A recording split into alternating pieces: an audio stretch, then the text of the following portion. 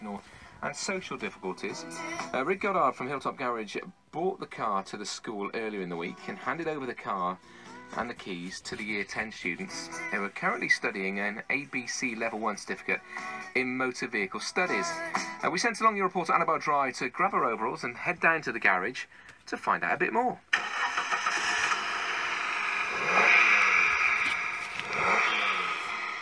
Okay guys, so this is our new car which has been kindly donated. Now, can you show me where you think the oil would go? Is it there? Here. No, Kieran, it's here. Well done, Jordan. That's right. Now, how would we check the oil? Um, my name's Adam Richardson and I'm the mechanics tutor at Peak Academy. We're looking at a Toyota Avensis. It's a 1.8 four-door manual. The good thing about this car, from our perspective, is it's got um, a few more modern things like central locking, air conditioning. It's got an alarm on it, so it's a bit more of a step up from the car that we have been using, which is which we've just done this on Micra, so it's a bit basic. So we can teach the kids a few more things about uh, a more modern car. So, why did you need another car? Talk me through that. We needed another car because the car that we got donated to us last time, we fixed up, we've put it through an MOT, and it's now being used as an extra runaround at the school. So we needed something that we can pull to bits and fix and mend, and this thing's ideal. In, in fact, it's better than ideal actually. How much of a difference will this make to the students from having this here? It's a massive impact for them. It's having a real car to play with and to take apart and to put back together, and they learn about all the things like servicing, valeting as well. This car in a few months will look like brand new, and it'll be all the boys' own work. Correct. Can you show me where the air filter is? The air filter is right here. Okay, do you want to open it and have a look inside? If you flick those Alright. catches off. Yeah, sure, you do it. You've got a better angle there. Hello, my name's Jack.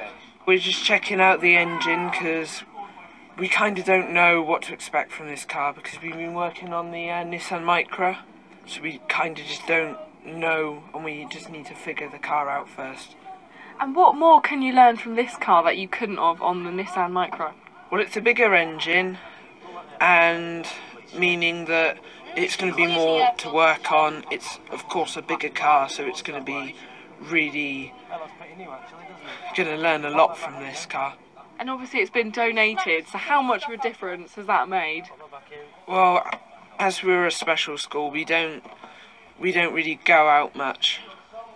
So the mechanics bay is a retreat for us, and the micra that was a help, a lot of help. So we've got the MOT on it, and I just can't wait to wo- start working on this car. It's brilliant. Hello, my name is Jordan Alder. It feels great to have actual companies se- send us send things in for us to work on. Big boost in confidence for us. We had a Nissan Micra in here before, and obviously you can't learn much just working with one car. So having a variety will get us a lot more experience. Hello, my name is Shay Thornton. How do you feel knowing that this has been donated and it's something that you can learn and work from? Very, very pleased. It's not a very often occurrence where you get cars donated. Yeah, And how excited are you to start working on it? pretty excited. Lots of work he's doing. Right, now the screen wash, where does that go? In here. Okay, yeah, good. And where are the spark plugs? The spark plugs are behind here. I, I, I... What a lovely idea, isn't it? It's uh, Rick Goddard from the Hilltop Garage then, uh, taking that car along to the school earlier, handing over the keys to the Year 10 students who are currently studying an ABC Level 1 certificate in motor vehicle studies at the Peak Academy in Dursley. Well done. Uh, we'll catch up with the sports news today. Uh, some big news for one of Gloucester's stars.